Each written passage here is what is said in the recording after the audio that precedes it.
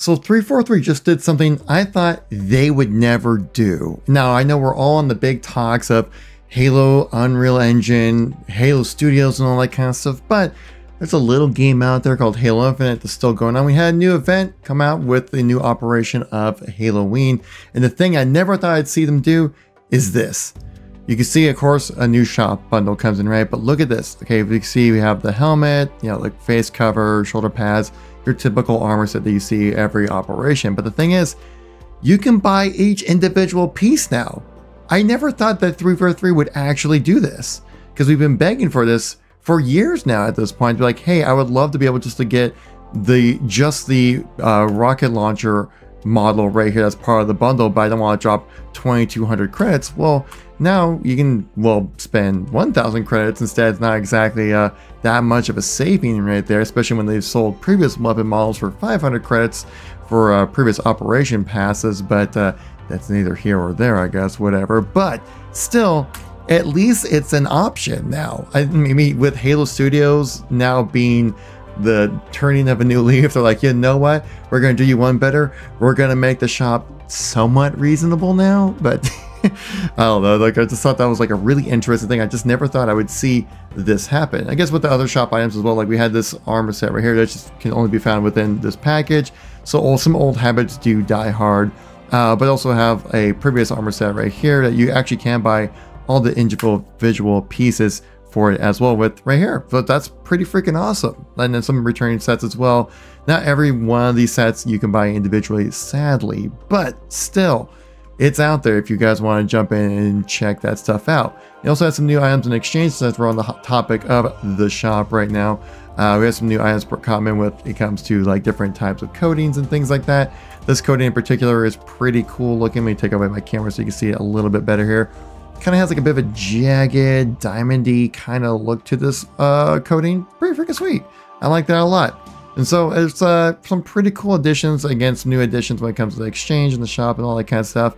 What's, what's the main thing here, guys, that you're going to be able to do in Halo Infinite? Well, with the Halloween update, we finally see the return of a workshop mode that we had in a workshop, I believe it was four, almost five months ago and that was the Living Dead or was it the Night of the Undead?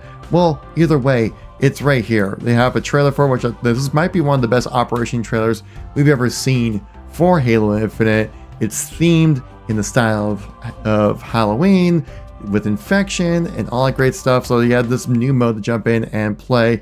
And again, it's basically, if you guys don't know what this is, uh, Night of the Undead, I think it's called or something like that. You actually, or survive the undead, my apologies. Uh, it's basically classic Call of Duty zombies put into Halo Infinite.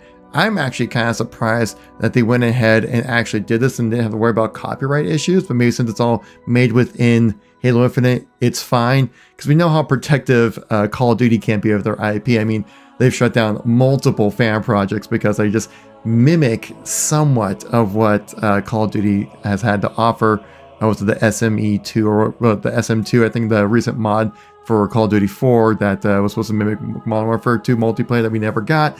Well, you know, that's where it is. But again, I, I digress though.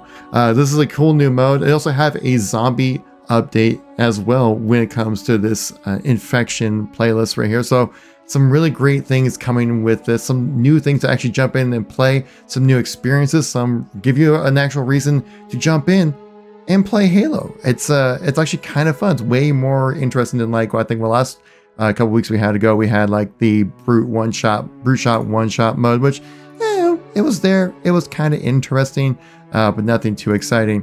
Uh, 343 did release a, a blog update about the whole thing, so I wanted to kind of go over that with you guys.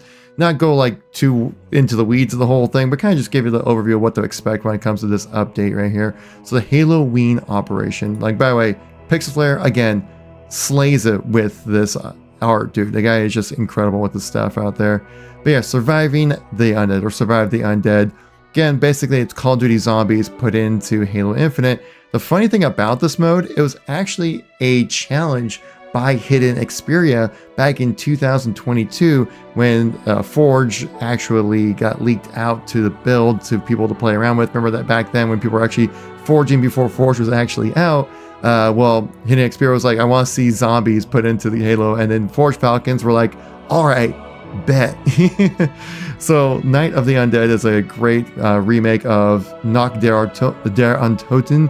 It's uh, the original uh, World at War Call of Duty Zombies map, a classic out there. They did kind of build on top of it a little bit more. So you also have Countdown of the uh, of the dead as well and also installation of the dead. And so got a good variety of maps to jump in and play with. So it's not just one map the entire time.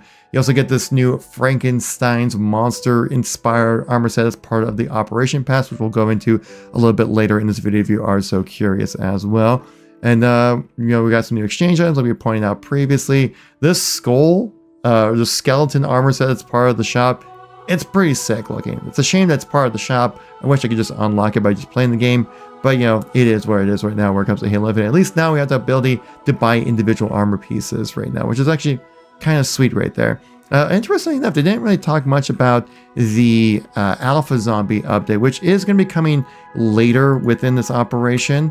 Uh, see if I can find it real quick for you guys. But it's a to be bringing some new additions with that whole thing. Uh, we don't really know exactly what's to be coming for it at the moment, as they haven't haven't really uh, delved too much into this whole thing when it comes to like what's actually to be changing for Alpha Zombies specifically. Uh, but we do know it's be coming in later into the season. So let's just do a quick overview of the Battle Pass here, the Operation Pass, I should say. For the 500 credits to make this a durable pass, you have the Pestilent Winds, right? Kind of reminiscent of that Halo Reach uh, customization, which you were able to unlock for free through gameplay. Uh, now it costs 500 credits, but hey, it is what it is right now, like I said earlier.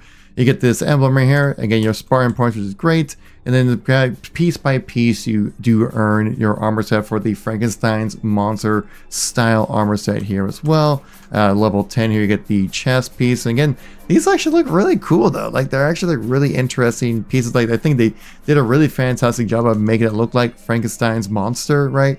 But also making it look like interesting Halo armor. I could have we had this kind of type of coating before, but if you want to look like a green zombie man like Frankenstein's monster, level 15, well there you go.